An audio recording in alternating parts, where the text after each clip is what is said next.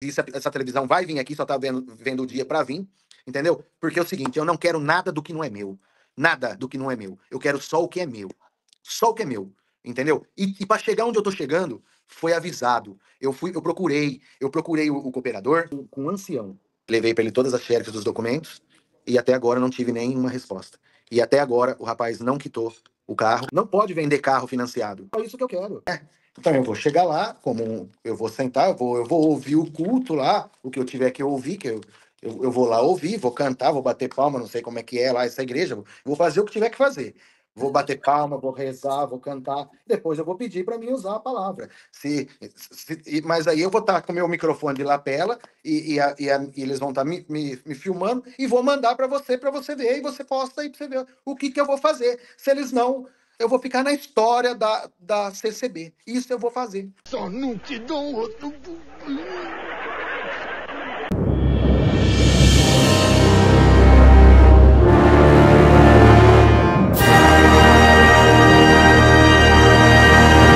Paz de Deus e a graça do nosso Senhor Jesus Cristo, Emerson Eliel aqui. Eu quero fazer esse vídeo aqui porque eu analisei bem as falas desse homem aí que teve um problema com um cooperador da congregação ali de Araraquara com questões de compra e venda de veículo. Ele fala que é intermediador, né, que outro comprou o veículo e, né, não sei se talvez foi ele mesmo que comprou, mas para fazer algum negócio com o veículo, né, que pelo jeito eu entendi que ele pagou e depois foi ver o veículo tinha o seu financiamento. Ele fala que é contra a lei, mas muitos vendem assim. No Facebook tá cheio de pessoas vendendo assim. Só que tem que ser falado antes. Segundo ele, não foi falado que o veículo era é, financiado. E esse cooperador, esses pessoal aí que tem loja de veículos ali na cidade de Araraquara, também não, né, é, não falou para ele algo que deveria ter falado, né? Se é o que ele aponta aí. Porque as todas as coisas que já aconteceram na minha vida aconteceram com membros desta igreja. Então, eu tenho eu tenho essa essa esse receio e eu estou pedindo um respaldo da igreja, inclusive liguei já para para um ancião e ele estava viajando, pediu para mim ligar de novo, ele não ele não me retornou. Depois, acho que ele gravou meu celular, eu liguei duas, três vezes, já, ele já não me atendeu mais. Mas é, a gente entende porque a outra parte deve ter um pouco de, de dinheiro. Então, deve, deve envolver dinheiro nisso, entendeu? E quero deixar bem claro também que é, de tudo que eu vou te mostrar é, dessa, dessa família essa é, dessa família, dessa falsa família, desse, desses falsos profetas, uh, também existe uh, parentes que são autoridades, que inclusive já me perseguiu uh, antigamente, mas antigamente a gente não tinha o poder que nós temos hoje da mídia, que é o poder do, do, do telefone.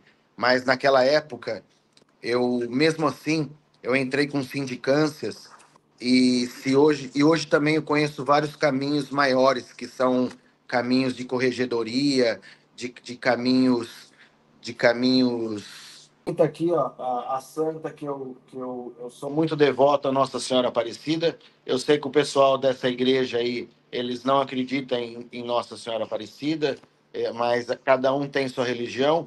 Religião é, sexualidade essas coisas Rapaz, é da igreja, mas é, o que eu já ouvi pessoas que já foram lesados por essa família, inclusive parentes dessa família. Então, é, o, o, que eu, o que eu falo aqui, amigo, eu tenho como provar entendeu? E não tenho medo de processo, não, porque eu já eu tenho uma. Eu, eu, eu, sou, eu sou candidato a vereador aqui na, na minha cidade, eu tive que tirar esses dias as minhas, as minhas certidões. E engraçado por, por essa perseguição que tive é, por, por um... aí saiu um monte de processo lá, mas todos assim, ó, todos absolvido, arquivado, absolvido, arquivado. Então, quando é feita uma coisa que ela é mal feita, ela é feita com maldade, que ela é feita com, com para prejudicar a outra, ela é tudo Deus mostra. E eu estou pedindo um apoio dessa igreja aqui em Araraquara e nada está acontecendo e o cooperador continua na igreja. O meu problema não está resolvido e se não resolver, nós vamos chegar aonde eu te falei ontem que você escutou a ligação ontem, você escutou que você estava na segunda linha no mudo com quem que eu falei ontem. O pobrezinho, ele não tem dinheiro para oferecer é, para oferecer. O, po, o pobrezinho, ele é um coitado. Ele é usado na igreja para ele levantar paredes de igreja de graça. Ele é usado na igreja para concretar igreja de graça, para rebocar parede de igreja de graça, enquanto os ricos da igreja usam os cartões corporativos da igreja para viajar, para comer, nas custas da, daquele pobrezinho que pega o seu salário,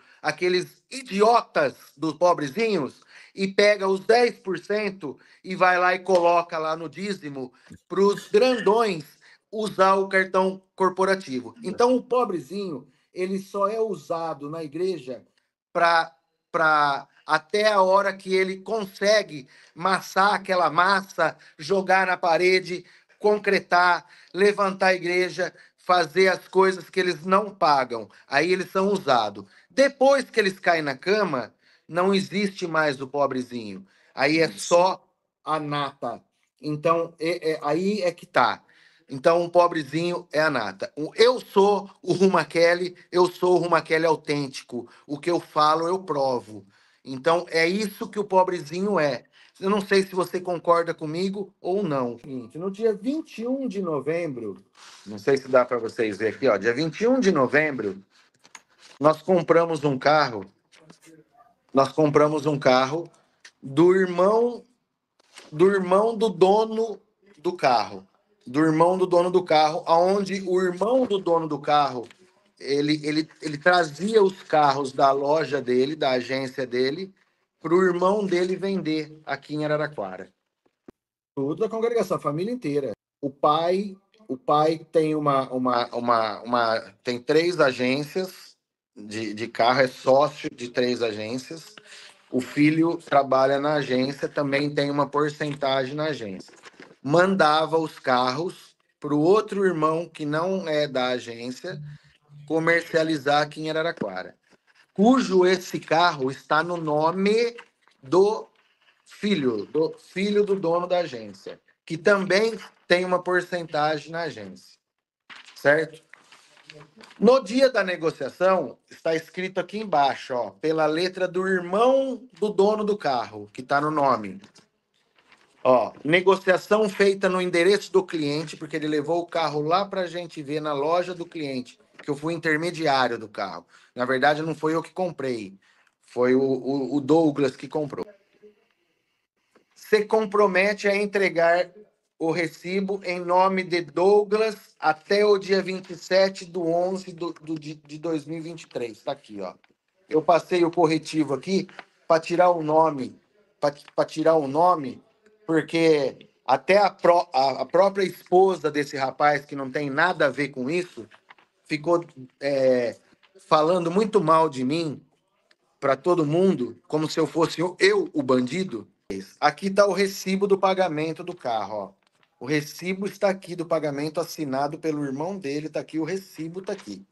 Certo? Do pagamento que ele recebeu. 169 mil. É, fui orientado a, a ir no Braz falar com um tal de irmão Salvador, presidente. É, devo ir a semana que vem devo ir lá para falar, porque se aqui em Araraquara não estão me dando respaldo, eu vou, vou procurar respaldo, entendeu? Se, se precisar, vou para a televisão, porque a tele, isso, essa televisão vai vir aqui, só está vendo, vendo o dia para vir, entendeu? Porque é o seguinte, eu não quero nada do que não é meu.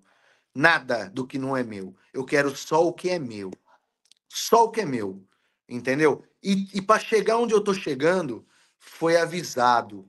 Eu fui, eu procurei, eu procurei o, o cooperador com um ancião. Conversei com ele no final de um culto, foi aquele vídeo que você mostrou lá. Eu conversei com um ancião, um senhor muito educado, um senhor que me acolheu, e me entendeu, é, ele me escutou, pegou meu número do meu celular.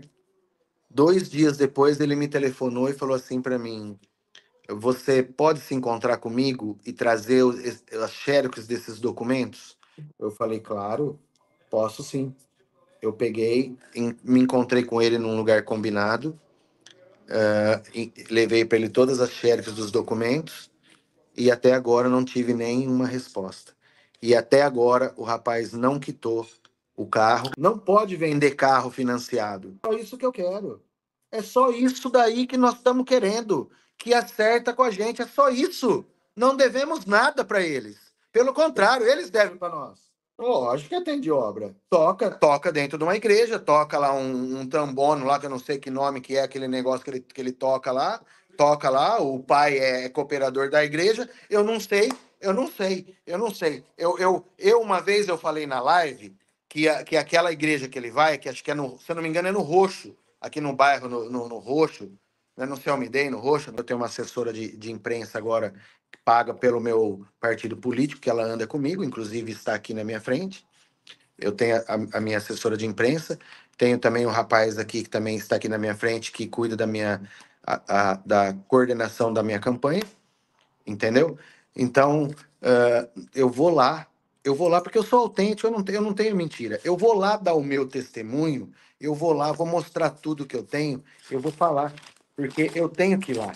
E se eu chegar lá, eles, eu tenho que dar o testemunho meu, eu, eu, eu preciso dar meu testemunho, eu, né?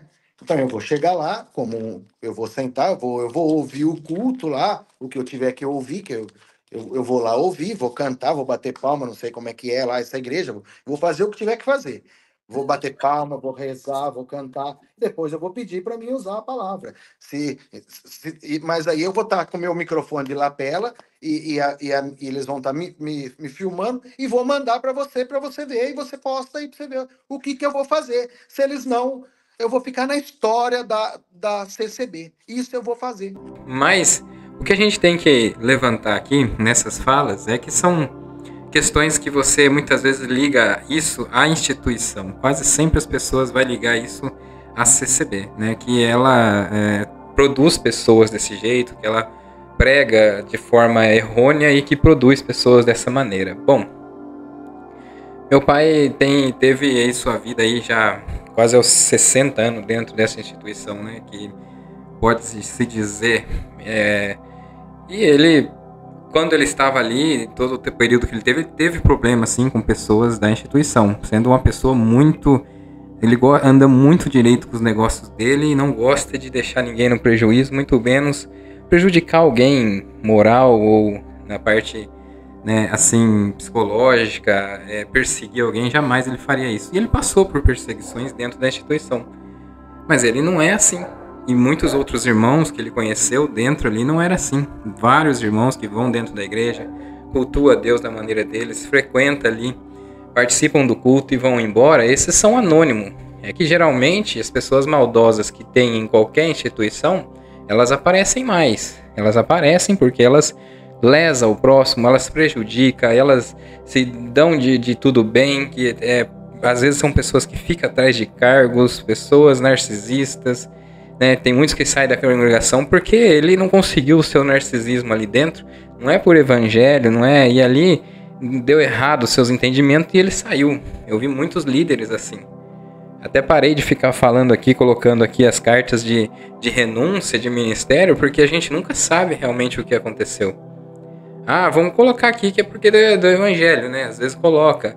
Mas irmãos, eu não sou aqui, não estou falando aqui uma pessoa que não viveu outras, conheceu outras pessoas. A gente conheceu outros ministérios, né, participou de, de outros cultos a convite. Coloquei vários, alguns aqui, então não estou falando aqui sem conhecimento de nada. E outra coisa, também trabalhei com milhares de pessoas. São pessoas dentro de escolas, dentro de, de, de sistema prisional. Então eu conheço pessoas de várias denominações e religiões. Aí você vem falar assim: ah, eu vou sair da CCB, né? A pessoa vai falando assim: ah, Lita, você viu? Eles não têm evangelho, então eles ensinam tudo errado. E eu vou sair da CCB porque tem pessoas ruins. Irmãos, e você vai ter frustrações lá fora. do mesma maneira. Se você tiver que sair por algum problema, sua região é difícil de lidar, não, né, você não concorda muitas vezes com a parte bíblica ali, o que é pregado, às vezes carece de um ensino, uma pregação igual do Luiz Carlos, que foi o último aí, por mais que tenha as divergências, o pessoal, ah, não concordo com isso, com aquilo, mas é uma pregação mais bíblica, né? E aí outros que é aquela aqueles que pula e você não gosta, às vezes você tá num lugar desse que quer sair, você sai, tudo bem, mas não vai achar que você não vai encontrar pessoas desse tipo. Pessoas que lá, ah, eu conheço do evangelho, né? Eu vou numa, numa tal igreja, vou numa presbiteriana, vou num outro, e você não vai achar pessoas desse tipo? Que enganam os outros com fraudes, corrupção, né?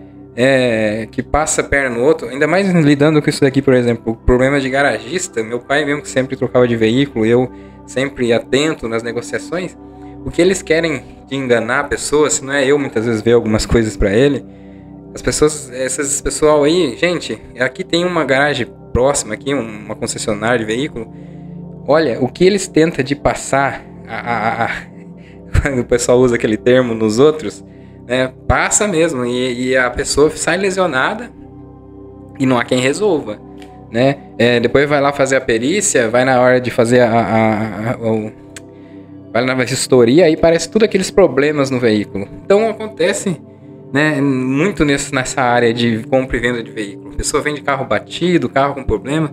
A gente já passou por isso. Agora, Aí você vai ligar um problema dele pessoal que ele teve com a empresa aí, aí fica lá, ah não, é porque é o ministério, ok. O ministério falha, muitas das vezes, obviamente, em não corrigir essa pessoa, tirar do cargo, porque quando é outro, ah, é um músico que foi lá e fez um negócio errado. E na hora, muitas das vezes, uma pessoa mais pobre, acontece sim de ter essa diferença. E é até por isso acabaram aí, se eles são poderosos, igual ele fala, pessoas de influência dentro do ministério, é show deles, né? Porque agora esse daí tá aí, vai, quer levar até a imprensa, trazer até a imprensa aí pra falar do, sobre o problema dele. E aí, né, citaram até o caso do Celso Russomano pra ver, pra falar, para resolver esse BO aí, essas coisas de, de, de cooperador, né? É mas o que eu quero falar para vocês, a gente vai, você vai num lugar, ah, vou lá na, em tal igreja, vou na outra igreja porque eu fui ali tá cheio de irmão. Ele falou ali que teve problema com a igreja, outros problemas com essa igreja. Se ele se envolveu com pessoas, que a igreja tem uma grande quantidade de pessoas, a congregação tem aí na cidade dele, claro que vai ter problema, né? Ele, são pessoas que ele se envolveu, são homens, os homens com. Não é porque tá dentro da igreja, é claro, que é do ministério, aqui a gente conheceu, meu pai, toda essa experiência, pessoas também que trabalham com negócios, e se muitas vezes você não pensava duas vezes em sair ganhando em cima do outro, muitas vezes desonestamente. Isso aí tem, tem tudo quanto é lugar, denominação.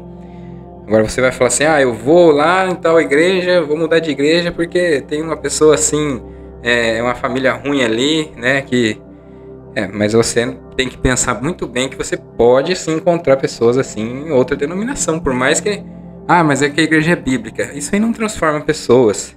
É uma conversão que está além do nosso, da nossa compreensão. As igrejas pentecostais, essas igrejas aí que vêm Assembleia de Deus, eles fez um grande trabalho, um grande trabalho em sociedade.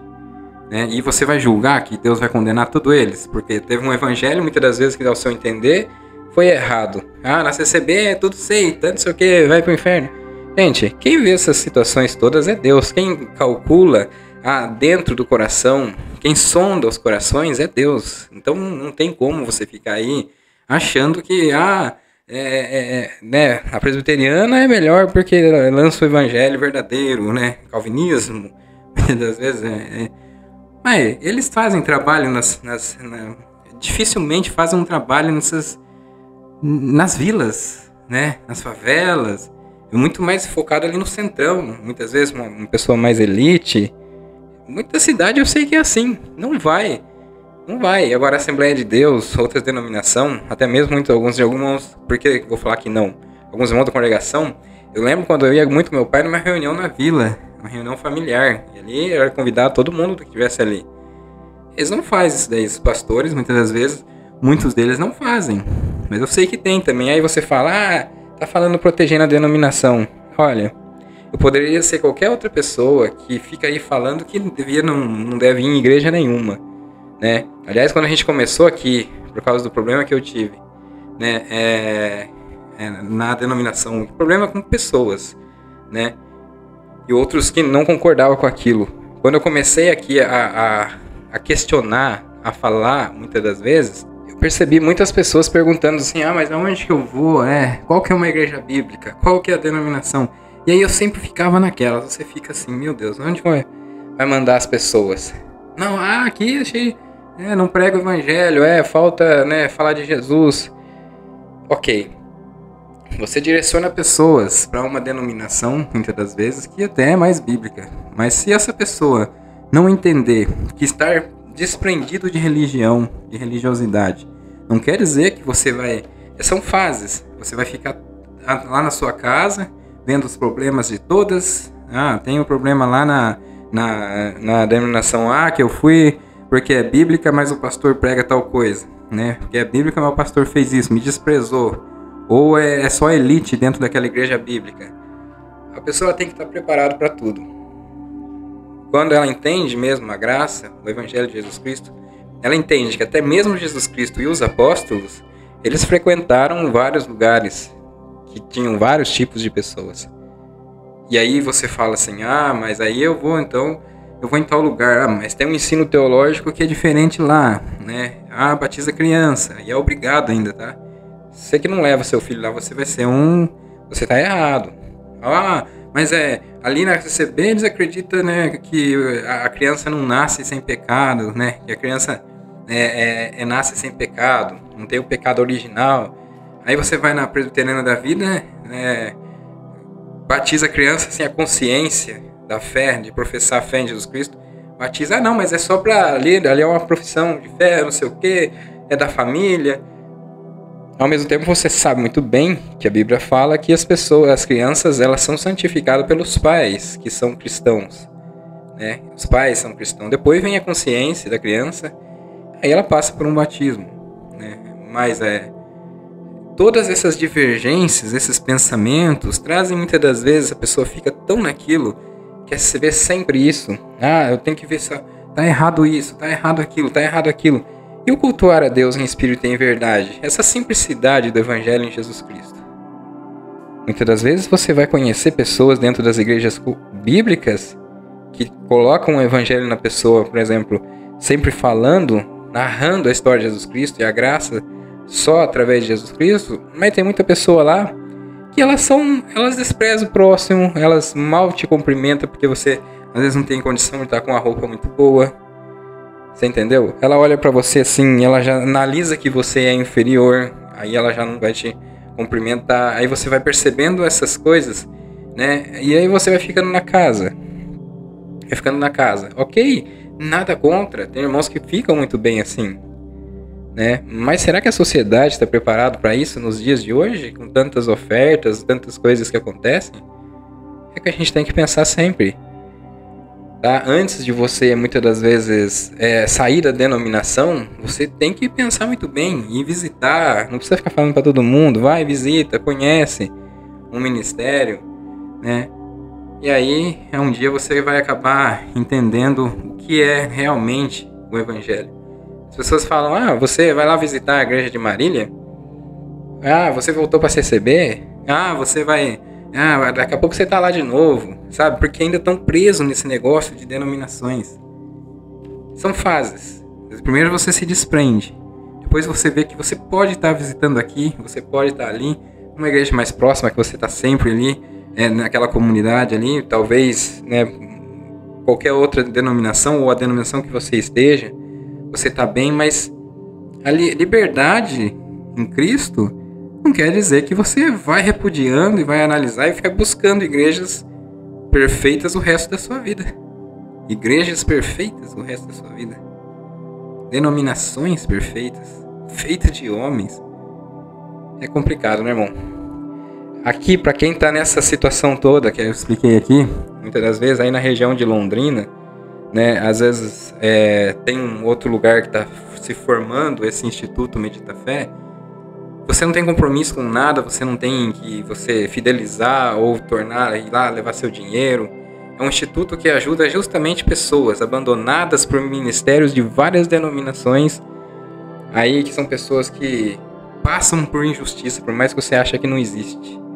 E os irmãos vai lá, cultuam a Deus, tem projetos de ajudar o próximo, várias frentes, né, ali de ajuda ao próximo. É uma proposta muito boa que eu conheci. Então eu recomendo é, você conhecer lá na região de Londrina, no Instituto Medita Fé. Dia 28 do 9 vai ter um batismo, né, ali o primeiro batismo no Instituto, na sede.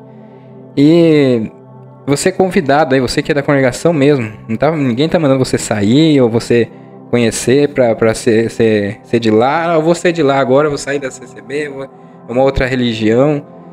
Não, é um convite, você mesmo que é aí de Londrina, vai lá conhecer, vai ter o dia de batismo, né, de um, pessoa, um, um culto especial aí no dia 29, que é num domingo, né, às 10 e 15 da manhã, com a ceia do Senhor.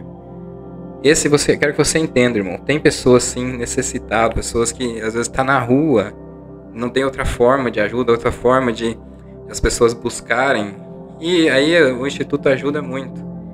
Então não tem por que você julgar, né? Ele nunca pediu para ninguém sair da denominação que está. Nosso irmão Juliano Francisco tem essa coerência e essa sabedoria. Bom, quem gostou do vídeo curte aí, né? Compartilha com quem com quem vocês conhecem, deixa seu like, faça seu comentário o que você achou aí da situação do, do irmão aí. A gente vê que, né, é, precisa resolver, obviamente, mas nem sempre isso daí vai ser ligado à denominação, a não ser que ela defenda. Esse aí é um outro problema. Se ela defender o ministério ou a pessoa, esse cooperador estando errado, aí sim eu concordo. Isso é errado mesmo, né? Não pode defender alguém no ministério que, de, de corrupção, né? Se é o caso. Mas agora você ligar a instituição que todo mundo lá, igual eu vi ele fazendo aí na live, todo mundo lá, sei o que, essa igreja aí ah, eu nunca vou ser daí. Ele é católico, ele mostrou a santa ali, então ele é uma pessoa católica. Né? Então, claro que ele vai. Vamos falar, vamos falar dessa maneira que ele está falando da instituição em si. Deus abençoe a todos, se inscreve no canal quem não é inscrito. Graça e paz verdadeira no coração de todos.